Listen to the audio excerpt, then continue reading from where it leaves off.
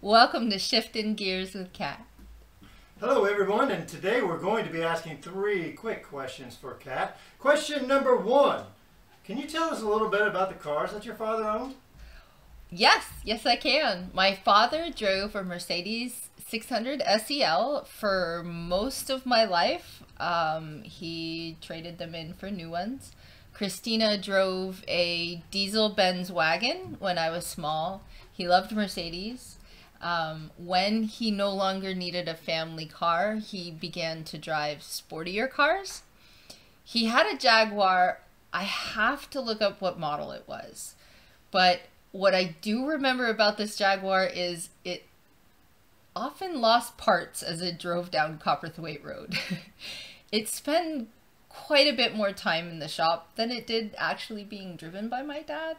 Um, so that didn't last very long he eventually started to drive NSXs. The first one was red, and then after that, he got yellow ones. There were two different yellow ones, I believe. Um, I was also asked if he ever drove any domestic cars. When he worked at Chevrolet, I was told by my um, by Cristina that he had a collection of Corvettes and somebody whose job it was just to wash them. And um, on the farm, we always had a Chevrolet truck, a Chevrolet work truck, a Silverado, um, or a GMC. And we, I drove a GMC Yukon. He had a GMC Yukon for some time. That was also a farm vehicle. Um, Zachary drove a 325i. and there were some interesting cars that we actually had on our property when I was growing up. One of them was a 1970 convertible Mercedes Benz that had a 1978 thrown into it.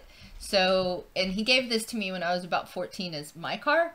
So I basically had a John DeLorean GTO Mercedes.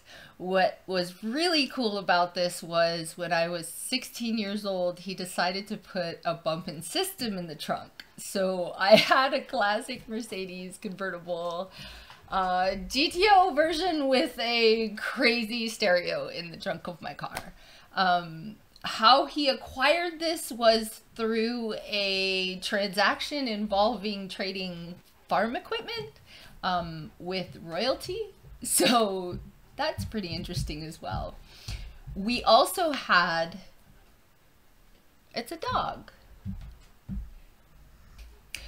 in the 90s when i was in high school we had a, a mercedes g-wagon with a soft top and when we got the car it had cb radio speakers so it i was told that it was a converted army vehicle.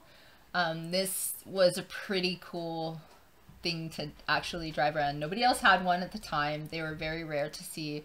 It didn't really look like the g-wagons that you see today. It kind of did but it was a little bit more jeepy a little bit more rugged and off-road.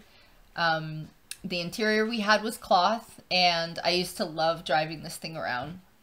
One time I was driving it around the backyard, and we had paved roads, and they took you all around the property. And one of the places you could go was to our brick barns. There was this large um, structure that had different tenant places to live, and then it also had a huge barn. And I used to like to drive around the property and practice driving. And um, I ended up hitting the wall of the gate that was the entrance to the brick barn. And I hurt the fender on the car, on the G Wagon. And I went in and I told some story. I, I don't know why, but I just remember telling some story to my dad about swerving to miss a rock that jumped out in front of me and um, yeah, I actually said the rock jumped out in front of me, and I, what am I gonna do? Um, I do remember that it was about six thousand dollars worth of damage, which wasn't a whole lot of damage. It was just impossible to get parts for the car, and he had to actually get them from out of the country. so that didn't go over too well. Um, yeah, I I think that's all the cars we had. I I may have forgotten one well, or two. Well, I'm sure we'll have time to talk about cars in the future. Question number two. Did your father ever tell you what his favorite car was? Oh. Huh. My father didn't have a favorite car. He had favorite engineering. Um,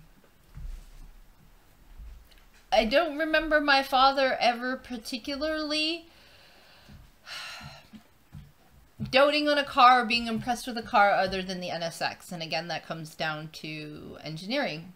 It was a naturally aspirated six cylinder engine that could keep up with most V8s and driven properly blow a couple Vipers off the road. I know that's not going to be a popular statement, but he really, the reason why he drove NSXs uh, was because he really did appreciate the engineering of that car and how it drove. They it was that car was amazing. I learned how to drive stick on the NSX, by the way. um, so so I can't I I can't say that he ever told me that's not true. His his, his convertible uh, baby blue 64 GTO would probably be his favorite car. How about your favorite car? My Babs. My um, 1998 WS6 Trans Am.